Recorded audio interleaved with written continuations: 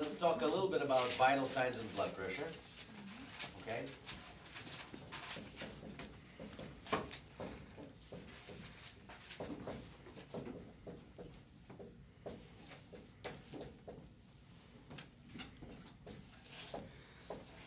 Okay, first things first. Notice I, I, I put them up separately. Vital signs and blood pressure because you know, frankly, when they tell you to go out and, and, get vital signs, people always assume that they need to get blood pressure also. Well, it's kind of true, but blood pressure is not one of the vital signs. Does anyone know what vital signs are?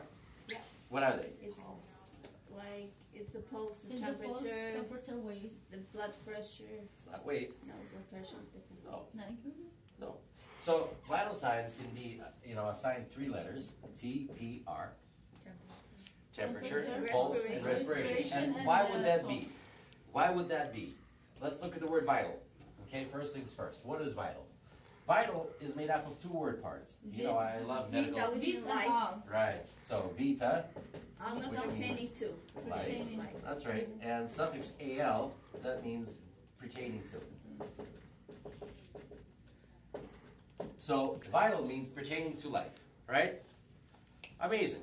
So what exactly is pertaining to life? Something that qualifies as making sure that if the person has these things, they are alive. So if you go ahead and touch the disc, right? How does it feel?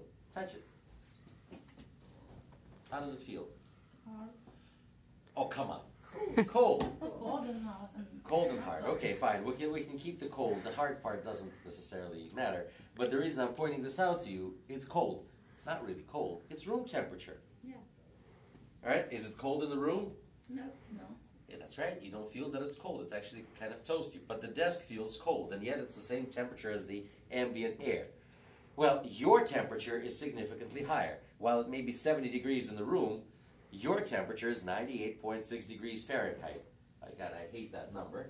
But, uh, you know, nonetheless, you know, if you were to walk into the room, right, and you found someone on the floor, it could be me taking a nap, you know, something like that. But let's say a strange guy is on the floor in the room.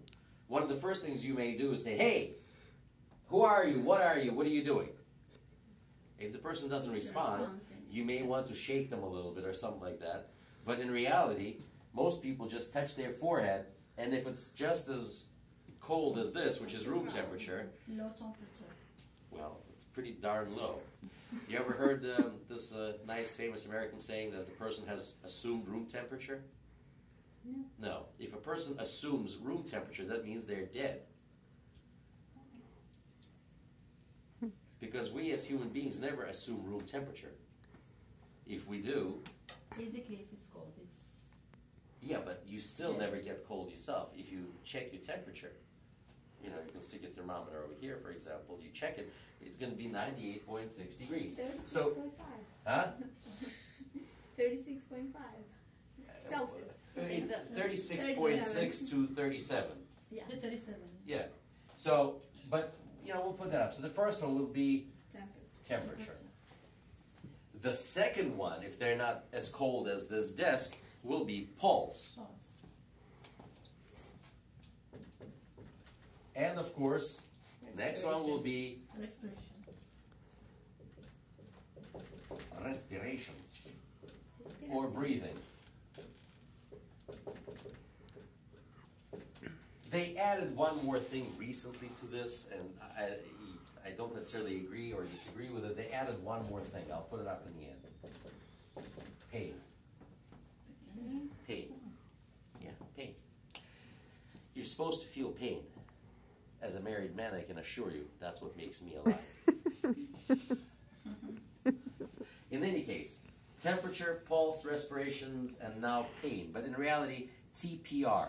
That's what vital signs are. So we did say that normal temperature is 98.6 degrees Fahrenheit or 36.6 to 37 Celsius or centigrade considered to be normal body temperature. Okay? Now, we're going to spend a little time talking about temperature first, so let's get this done. Can I erase this? Go for it. All right, thank you. I should have said may I to be correct. So what do we need to know about temperature? Well, first things first, we need to make sure we know where to obtain the temperature. Now, where do we get the temperatures from? Well, in reality, what we're trying to look for is something that's called the core temperature, or a temperature that's somewhere in the middle, in the center of your body. Okay? Now, we have a couple of places that help us get to the center of the body. Well, look, the mouth is pretty good next to the center of the uh, body, right? So, we can stick a, well, you know what? Thermometer, for example. It's very important for us to know some of the terminology. Thermometer, okay? Or thermometer. Thermo means heat. Heat, Meter means to measure. measure. So thermometer is, a, is an instrument that we use to measure temperature. Okay?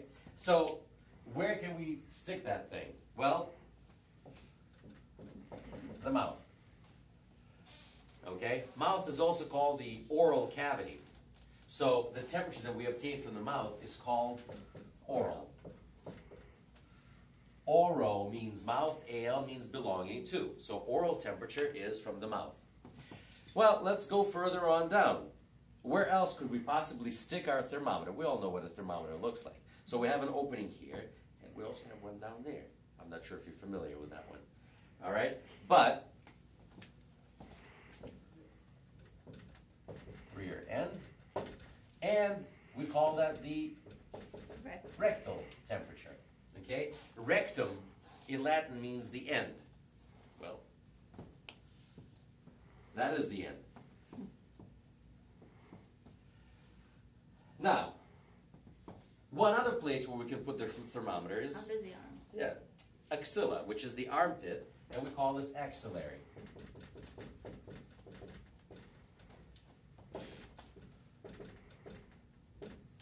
I this a little backwards, but you understand. Okay? So axilla being the armpit. Well, axilla. So let's let's discuss this first because it's very important for us. People take uh, temperature for granted, but we have to take uh, accurate temperature. So, what are the requirements for thermometer to take an accurate measurement? Well, it can't be exposed to the elements, and it has to be tightly surrounded by tissues, like this. Can't be like this. Has to be nice and snug like this in order for the temperature not to be exposed to anything else. Right? So, if you put it in somebody's mouth, now that I explained to you, see, it's very easy for me just to give you instructions on how to instruct the patient. But it's better for you to tell me and to understand why. So, the requirement is that the thermometer be surrounded by tissue and not exposed to the elements. So, what would your instructions to the patients be if you were to put a thermometer into their mouth? Close the mouth. That's a good start.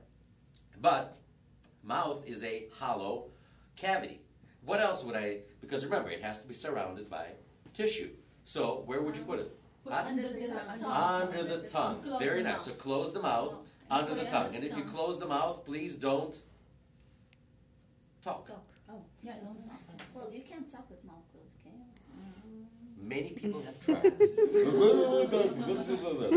so keep your mouth shut. Now let me ask you a question. What would be the most common thing, common common complaint people have when they come to see a doctor? Usually they're sick Yeah. and they take their temperature. Okay. What's the most common illness that people get when they feel crappy? Cold. Cold, Cold. flu, right? Yeah. What happens to your nose? Run, runny nose. Can you breathe through it? No, breathing Yes. problem. So you're breathing through your mouth. So how can you keep your mouth closed with a thermometer in there? So that puts in question whether a sick person can actually take a good oral temperature while they're sick. So you have to take that into consideration. Now, also, people like to come, nowadays it's very popular, you go to Dunkin' Just Donuts, a- you go to the doctor, and either a large iced coffee or a big hot coffee or tea, whatever it is that you drink. So you're out there sipping a new beverage, which I don't recommend that anyone do in the, in the lobby of the doctor's office. It's the easiest way to get sick. Okay, so you're sitting there sipping on some coffee, and the first thing you do, you come in, stick the thermometer in there. Yeah, that's not gonna be right. No, it's not going to be right. Mouth keeps that temperature for about 20 minutes. It's either cold or hot. So all these tissues either cool off or heat up. Is that going to give us an accurate reading?